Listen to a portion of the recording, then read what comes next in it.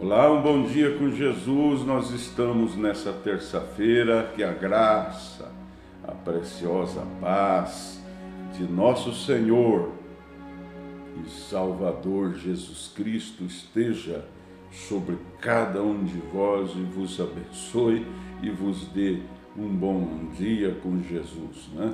Seja um dia de vitória para todos nós. E nós estamos aqui com a mensagem à perfeição nós queremos deixar aqui mais uma palavra de Deus ao nosso favor. É o parágrafo 33 é baseado na escritura de carta da carta do apóstolo Paulo aos Hebreus, capítulo 10, porque tendo a lei a sombra dos bens futuros e não a imagem exata. Então a lei era uma sombra da imagem exata. A imagem exata era o Calvário, quer dizer, aquele cordeirinho animal que era levado em sacrifício lá na lei, ele apontava, ele era uma sombra, e ele apontava para a imagem exata. A imagem exata era a imagem de Deus, era o Cordeiro de Deus, o próprio Deus. Ele se fez em sacrifício para resgatar o homem, o qual ele criou. Você já pensou nisso? No amor que Deus tem por pela sua imagem e semelhança por você?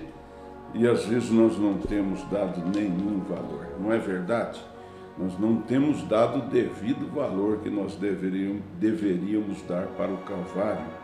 E no parágrafo 33, a palavra diz: enquanto o adorador se conscientizava de que por cometer adultério, é, por mentir, por roubar, qualquer que fosse sua culpa, ou mesmo maus pensamentos, porque se o homem não erra pelo, por atos, ele erra por pensamentos. Você murmura é, pelo, por pensamento. E, e, um, e um dos pecados que mais derrotou é, é, pessoas, né, foi o, a murmuração. É, lá no, no, no Velho Testamento, quando Moisés, o profeta, estava tirando o povo de Israel do Egito, é, na maioria daqueles que ficaram caídos no deserto, eles ficaram por causa da murmuração. Então, se você não erra por atos, você erra por maus pensamentos. O que quer que fosse na mínima sombra ele era culpado. Então o homem é culpado na mínima coisa, o atos, o pensamento. O que quer que fosse na mínima sombra, ele era culpado porque aquela era a sua natureza. Ele era uma pessoa culpada.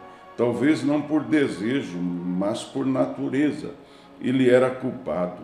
Ele tinha de reconhecer que esse cordeirinho inocente tinha morrido em seu lugar e ele sentia dó daquele pobre coitadinho daquele animal. Então, é, a lei era isso, era uma sombra, né? Mas ela apontava para a imagem exata.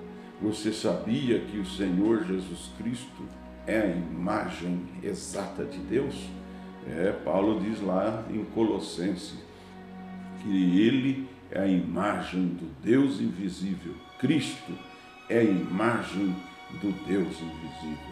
Então você tem agora a imagem exata, não a sombra, mas você tem a imagem de Deus, do qual você, sendo um verdadeiro adorador de Deus, você pode se tornar a imagem de Deus.